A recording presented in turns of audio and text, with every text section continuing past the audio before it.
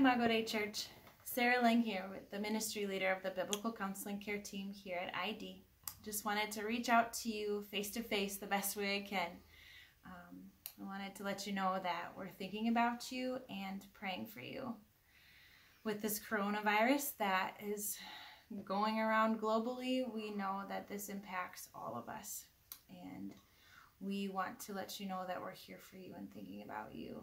Um, this is impacting all of us in many ways, whether it be fear, whether it be suffering, loss.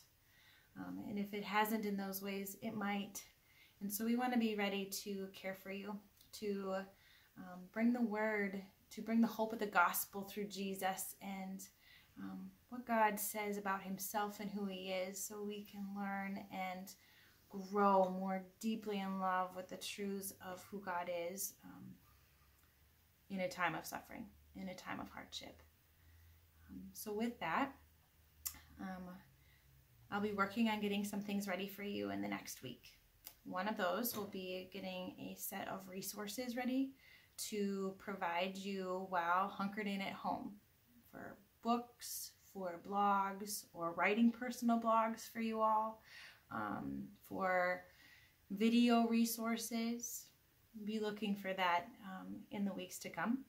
Another area is the a few people from the team are working on right now to look at their schedules and set aside time to meet with you virtually, to open our time to bring counsel to you, to talk with you over the word, to pray with you, to intentionally and intimately share the hope of the gospel where you're at.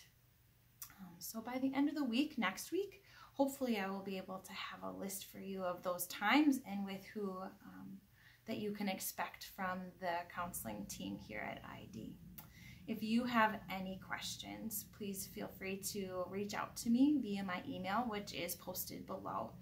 Um, if you have any comments or feedback or things to share, feel free to fill that out in the comment section also, and I will do my best to get back to you in the near future.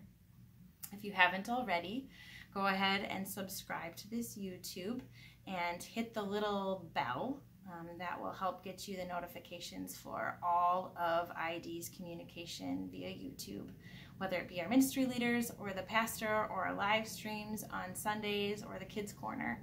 Um, this is a great place that we're going to really start maximizing and using in the days to come.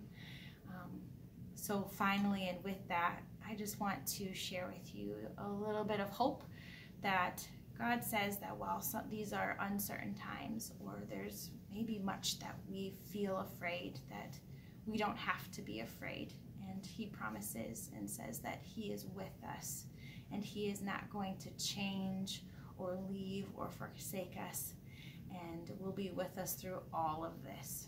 And so, with that, I do grace and peace to you all until I see you next time.